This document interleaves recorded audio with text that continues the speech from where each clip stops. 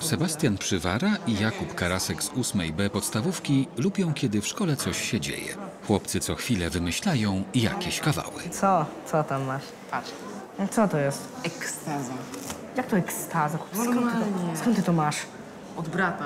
Ale Zostałam po imprezie. dał ci tak po prostu? No nie, no co ty, zabrałem mu z szuflady. No co, weźmiesz to teraz? No właśnie zastanawiam się, bo nigdy nie brałem dragów. No to co z tym zrobimy? Może damy kłosek? Nie no, co ty zwariowałeś? To nie wiem, co możemy z tym zrobić. Albo możemy dać Tomakowi. Stary, to nie głupi pomysł. To jest ekstra pomysł. No to tylko jak chcesz to zrobić, żeby się nie zorientował? No nie wiem, no... Ty go może zagadasz, a ja mu to podrzucę. Chodź. Dobra.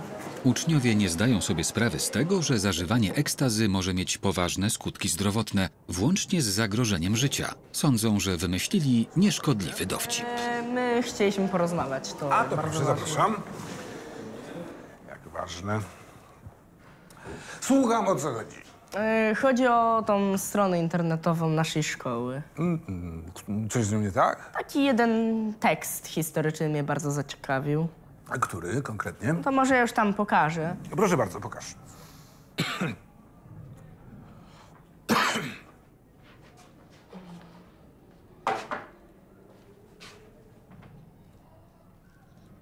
E, Tak, to ten tekst.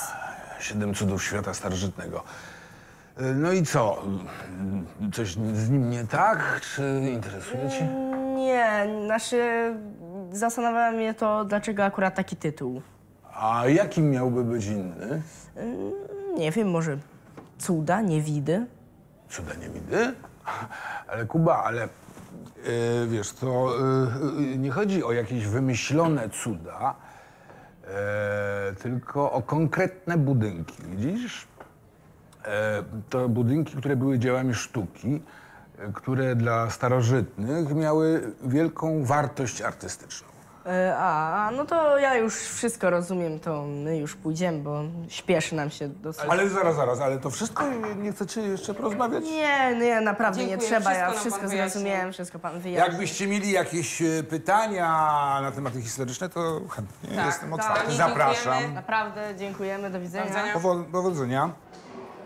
Chłopcy są zachwyceni tym, że udało im się podać nauczycielowi narkotyk. Nie myślą o tym, że narazili go na niebezpieczeństwo. No nie, ale gdzieś za godzinę mamy historię. Będzie się działo. Nie mogę się doczekać. Czego nie możecie się doczekać? A, wiesz co, nieważne, nieważne. Jeju, jaki tajemniczy. No ale dobra, idziemy na lekcję? No, chodźmy.